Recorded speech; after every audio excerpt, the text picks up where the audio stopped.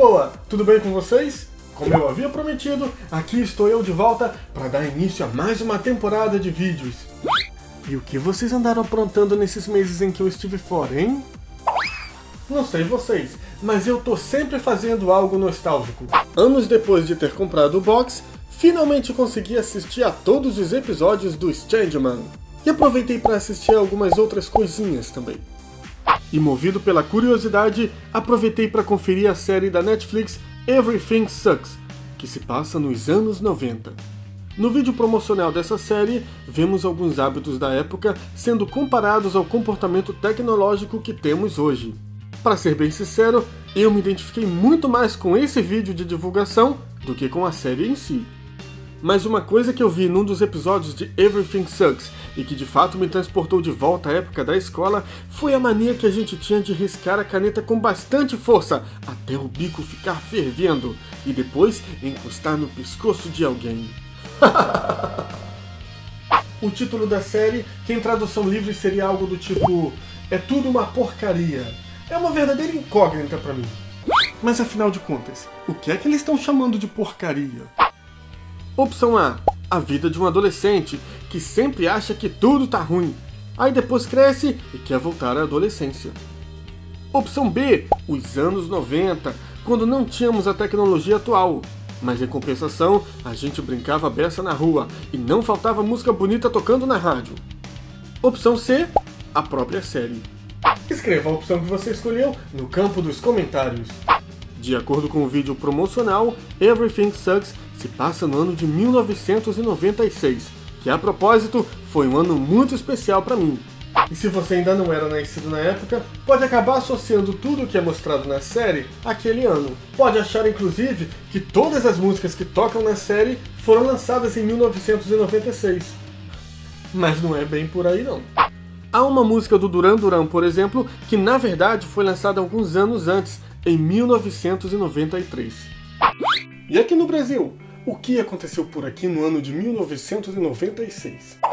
Eu poderia pesquisar na internet e trazer aqui para vocês todas as imagens que eu encontrasse. Muito fácil, né? Mas eu quero fazer diferente. Quero apresentar uma retrospectiva mais original. E então eu vou mostrar aqui todos os objetos que eu possuo que foram lançados em 1996 ou estão diretamente relacionados ao ano de 1996. Vem comigo, é hora de fazermos mais uma viagem no tempo.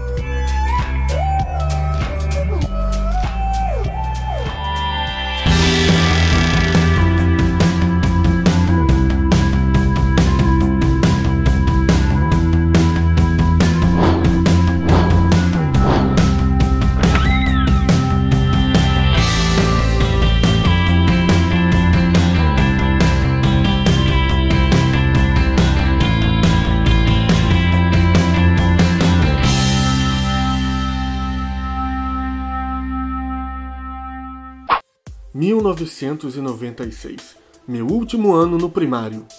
O que estudávamos naquela época? Passo a pergunta para um de meus cadernos. Em português tínhamos acentuação gráfica, pronomes, desinências e por aí vai. Em inglês, aprendíamos o nome das profissões, como perguntar e negar algo, past tense e muitas traduções. E quanto à matemática?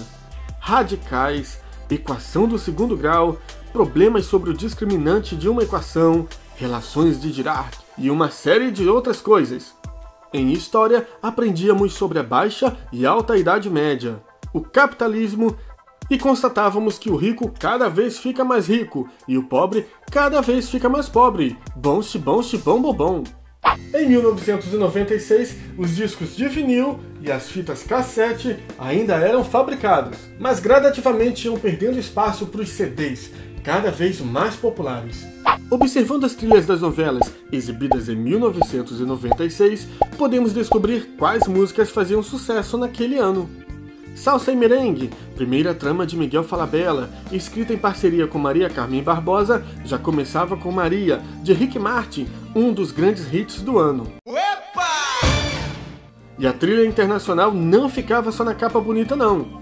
As faixas incluíam Shakira, Laura Pausini, Julio Iglesias, Oasis, Eros Ramazzotti, Bryan Adams e até Michael Jackson. No canto inferior esquerdo da contracapa, encontramos o logo oficial da candidatura do Rio às Olimpíadas de 2004, um sonho de muitos que acabou se concretizando só anos mais tarde.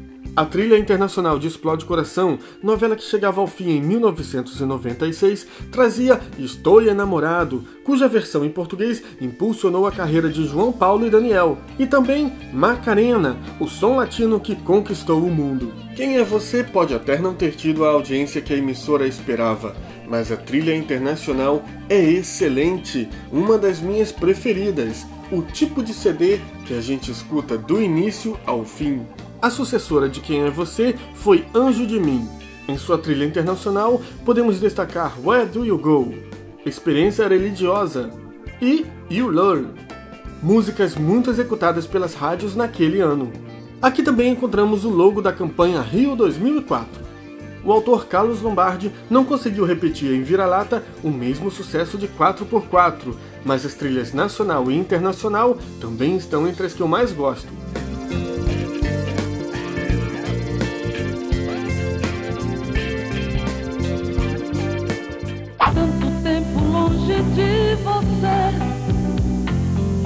Ao menos lhe falar.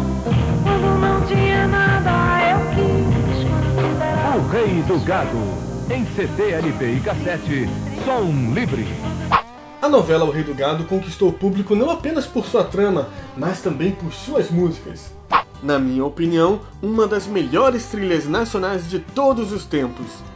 A canção À Primeira Vista, na voz de Daniela Mercury, me fazia parar onde quer que eu estivesse só para ficar ouvindo.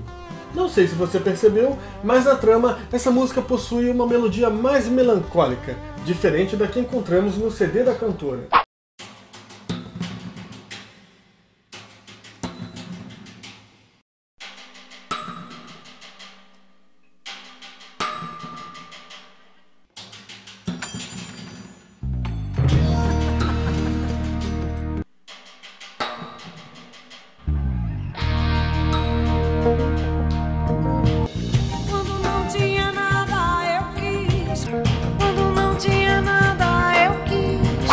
Acredito se tratar de um arranjo exclusivo para a novela. E aí, tá gostando? Pois eu ainda tenho muita coisa para mostrar sobre 1996. Mas o nosso passeio continua no próximo episódio. Não se esqueça de deixar o seu like, compartilhar esse vídeo nas redes sociais e se ainda não é inscrito ou inscrita, inscreva-se agora mesmo. Lembre-se de clicar no sininho para receber uma notificação sempre que houver vídeo novo. Vejo vocês no próximo episódio. Até lá!